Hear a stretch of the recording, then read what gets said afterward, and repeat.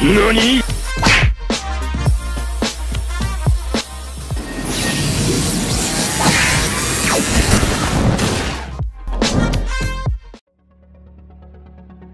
What are the chances of this? Um, I'm just wondering whether you remember the Derby match in 1967 at Goodison, FA Cup, fifth round, and it was shown on a big screen at Anfield at the That's same right. time. Do you remember it?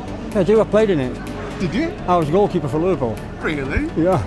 Well, that's a stroke of luck me meeting Very you. Yeah, Yeah. Sorry, can you remind me of your name? Tommy Lawrence. Tommy, nice to meet you. What, what do you remember about it? It was a great game, yes.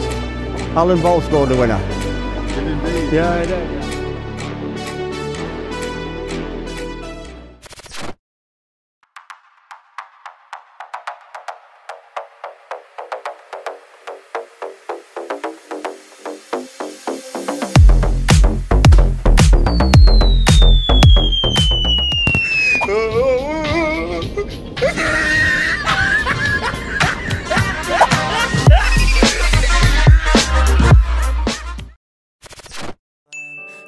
Mumbling, I'll keep doubling. You keep bluffing, you've got nothing. I'll keep hustling